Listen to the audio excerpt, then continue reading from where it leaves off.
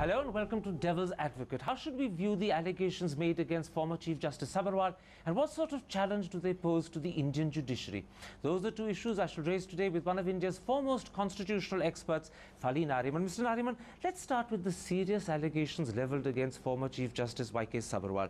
Was Mid-Day and later the campaign for judicial accountability right in bringing them into the public domain or have they erred in doing so? Well, actually, they came into the public domain not only because of Mid-Day, but by reason of the former Chief Justice himself uh, issuing a statement explaining all the details that uh, were allegations, uh, the allegations leveled against him.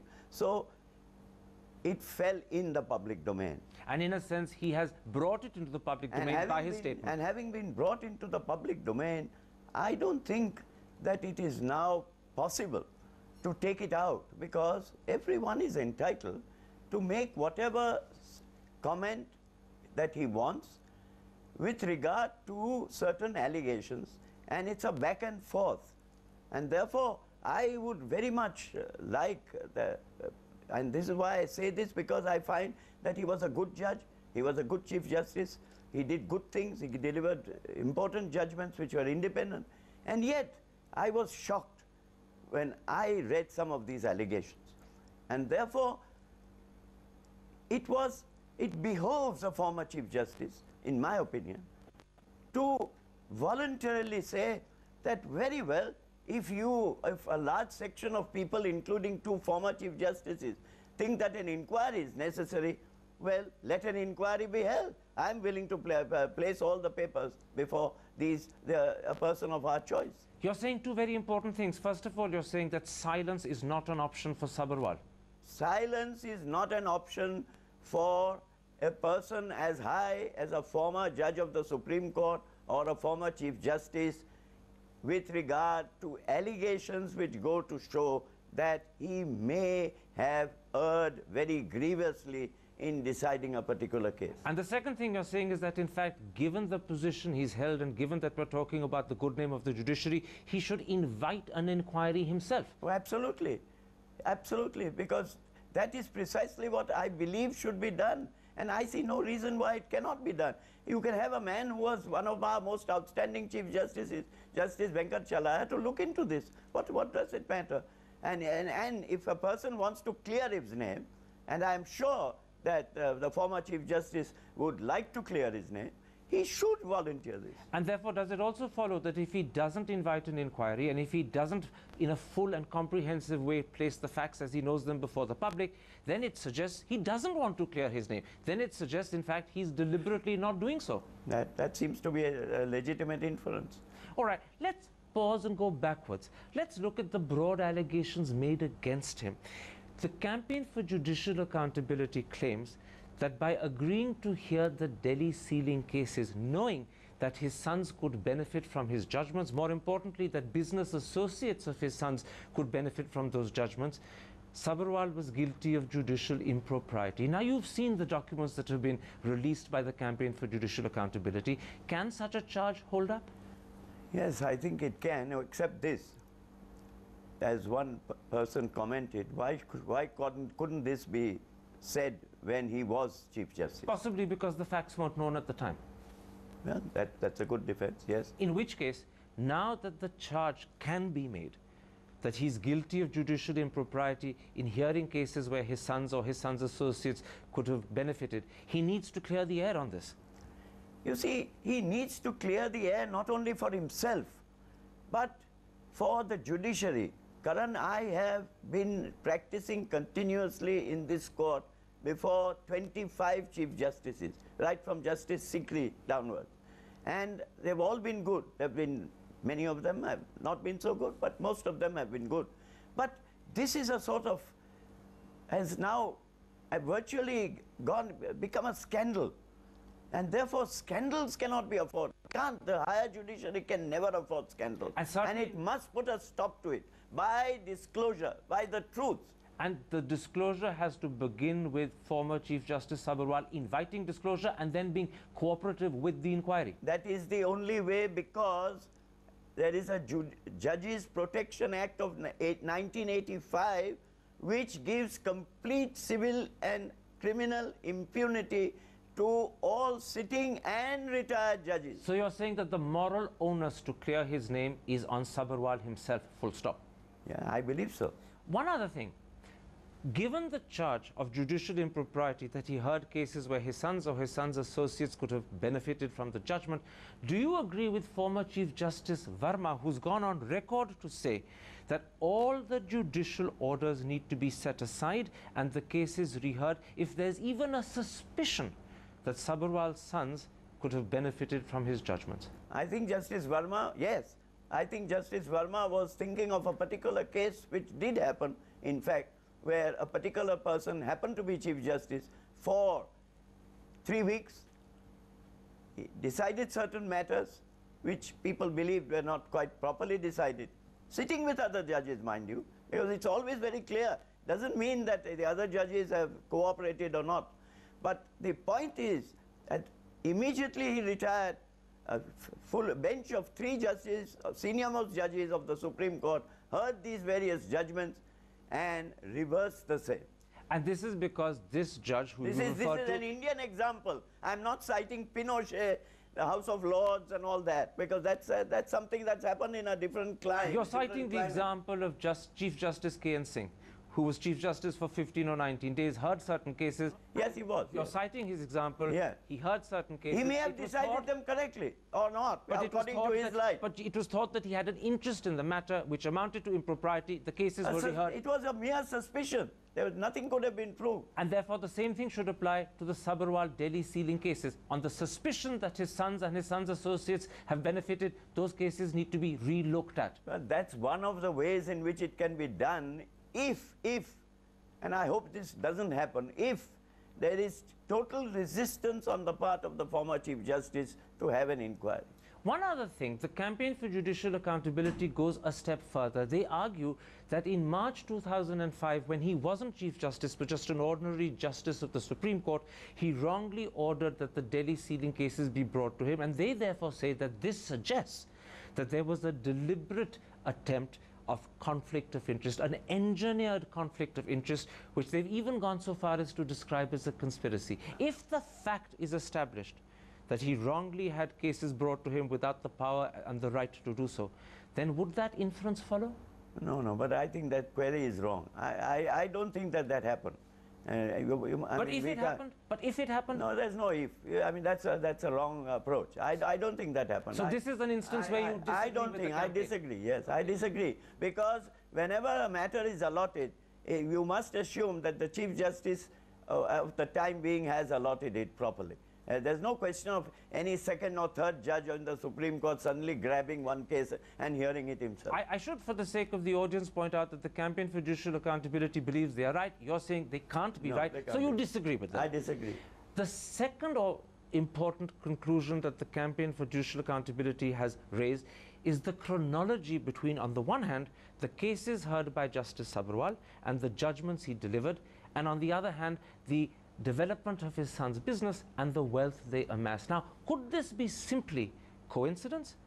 Or would you say that there could be here, could be here a suggestion of corruption which requires investigation? You see, there are two points here, Karan. Please remember, the sealing orders have hurt a very large number of business people who may want their, to take, their, take, take, take some revenge, as it were. So they could be motivated They could be allegations. motivated allegations. And, and I, I have no doubt that uh, what the, the Judicial Accountability Co- Committee has uh, brought out is from uh, information that they have received. But therefore, that's the reason why someone of great stature, like an eminent former Chief Justice, can, must look into these allegations because I hope they are not true. And one must assume at the moment. You see, today everybody assumes that everything that's said by somebody against a particular judge or a former Chief Justice is necessarily true. I, I, I, don't think that's a correct But approach. you need an inquiry. but you must have an inquiry. And this is another reason for an inquiry. This the chronology suggests another inquiry. This is absolutely correct. That is, that is why I say that in the interest of the former Chief Justice, in the interest of the good name of the judiciary, this is a must. Very quickly, who should conduct the inquiry? Justice Krishna Iyer has gone on record to say that a body preferably comprising eminent individuals in the judiciary and civil society, should be appointed. And he says it should be appointed by the sitting Chief Justice of the day. I don't think the sitting Chief Justice has the power, but the sitting Chief Justice can certainly suggest names which both sides could accept. That's about all that I can say. And should members of civil society be part of that body? yes, certainly. Why not? So it's not restricted to judges alone. No, no, of course not. Because And it has to be a fair, transparent inquiry. yes, yes, because justice is all about people. And it has to be conducted in the open. It has to carry There's conviction. no camera matter here. So it's not a closed door inquiry. no, no, no, no, not at all. And that you believe is essential to clear the good name of the judiciary. Absolutely, and I, and I and I do hope and pray that the uh, uh, judiciary's good name is cleared. Let's take a break at that point, Mr. Nariman. In part two, I want to come back and talk to you about the decision of the Delhi High Court to deem allegations published in Mid-Day as contempt of court. Was that a correct justice or was that miscarriage of justice? We'll be back in a moment's time. See you after the break.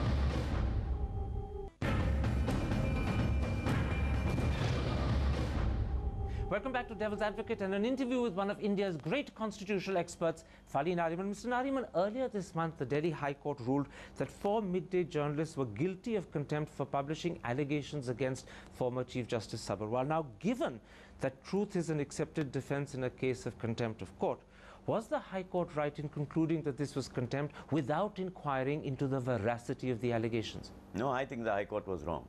So the High Court has actually come up with a wrong decision. I think that's why the sentence was stayed. The High Court By the Supreme course- Court. The High Court, of course, went one step further. It argued, and I quote, the publications in the garb of scandalizing a retired Chief Justice of India have in fact attacked the very institution, which, according to us, is nothing short of contempt. Do you accept that every allegation against a justice, even if it's true, lowers the image of the judiciary and is therefore ipso facto contempt? Nothing that is true can scandalize because the two are don't, don't fit into the same sentence as So were. once again, the High Court is wrong. Yes, of course, in my opinion it is, and that's exactly why the Supreme Court prima facie has stayed the sentence. The High Court went one step further. It said that when one of the judges in a multiple bed, judge bench is imputed to have acted wrongly, you are in fact suggesting that all the other judges were either part of the ulterior design or were dummies. And again, they argue that this amounts to contempt. This is a special plea. I, I, I don't accept it because, as a matter of fact, if one of the judges does do, happens to know something which the other judges do not, then it, it is no reflection on the other judges if they continue to sit with that judge and deliver the same judgment. So, on three critical counts, you found the Delhi High Court judgment to be completely wrong. Let me then put this to you. How much disservice has the Delhi High Court in the handling of this contempt case done to the good name and the standing of the judiciary? This case should never have been taken up. There were, you see, once you initiate a contempt, this is where judges have to be extraordinarily careful before initiating contempt.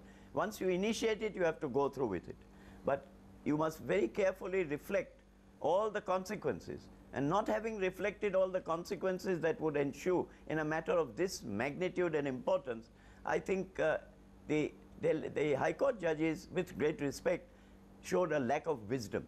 And they should never have taken this up. They acted in haste and they acted without wisdom. They acted without. Let me put something else to you. Today, I would imagine that every single judge in the country is aware that truth has been accepted as a legitimate defense in a case of contempt. Therefore, if judges of the Delhi High Court deliberately choose to ignore this, should they not be reprimanded by the Chief Justice for either flouting or circumventing the law of the land? No, no, no, no. Anything a judge does in the course of his duty, which must be expected to be bona fide, and I have no doubt that the judges of the Delhi High Court acted bona fide, and no one is entitled to reprimand anybody. He, whatever you must, you must take whatever the remedy that the law allows you, which is what was taken, namely approach a higher court and you get it stayed. But if the law permits truth as a defense and the judges of the High Court refuse to even acknowledge that and yet bend over backwards, in fact, to argue the opposite, then does it not amount to harassment of those four journalists? Bending over backwards is your view, but I don't think the judges bent over backwards. That was a view that they took, which in my opinion was a wrong view, which I think prima facie the Supreme Court thought it was a wrong view and therefore stayed the sentence. So just to wrap up this bit of the interview, you're saying that on three critical counts, the Delhi High Court judgment was wrong. Yes. That in fact the judges acted without wisdom. They shouldn't have accepted the case in the first place. But that said and done, you don't think they should be reprimanded? Oh, no, no, no. I, on the contrary, it's a very bad thing to reprimand judges. Uh, it destroys their independence. Even if they are wrong, there, there are methods in, by which they are to be corrected. And the only correction that we know of today is by approaching the highest court. Let me put this to you. Which would be, in your eyes, given that India is a democracy where in fact the people are thought to be supreme, which would be primary, which would have precedence? Namely? Freedom of speech or the law on contempt? freedom of speech, to my mind. For the sim- and this is what a bench of the Calcutta High Court years ago had upheld. Um, two judges who later came to the Supreme Court said the same thing. There was an obnoxious sort of article, etc., in one of the Calcutta journals. They were hauled up for contempt. There was no apology, and the judges said no. They have a right to say. If freedom of speech, therefore, should take precedence over the law of contempt, should judges learn to accept criticism without invoking the law of contempt in their defense? I think they are, they are, they are. I think that things have changed, the winds have changed. Before it was much more, much worse to my mind. Things have improved. Of course, uh, the present case is a different uh, aspect that has turned up, and I sincerely hope that uh, we'll see the end of it by the former Chief Justice himself volunteering an inquiry. Therefore, do you agree with Lord Salmon, who in 1969 said, if there is a just cause for challenging the integrity of the judge, it could not be contempt of court to do so. Indeed, it would be a public duty to bring the relevant facts to light. This is not only said by an English judge, it is said by an Indian judge of great repute, Justice B.K. Mukherjee, whose portrait hangs in court number one. He said it in 1952, and he was the first judge who said in our Supreme Court that truth is a defense. Has therefore the time come for India to redefine the concept of contempt, moving away from the present view that it concerns scandalizing the court and perhaps adopting the American and increasingly, I should add, the British view that it's only contempt if it amounts to clear and present danger to the administration of justice? That, that is one of, the, one of the definitions of criminal contempt that should remain. Scandalizing the court is now an anachronism, I think, which should either be left severely alone or a provision should be deleted from our Contempt of Courts Act.